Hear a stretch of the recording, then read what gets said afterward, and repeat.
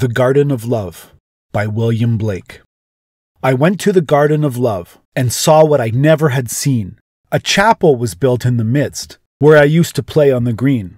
And the gates of this chapel were shut, and thou shalt not writ over the door. So I turned to the Garden of Love that so many sweet flowers bore.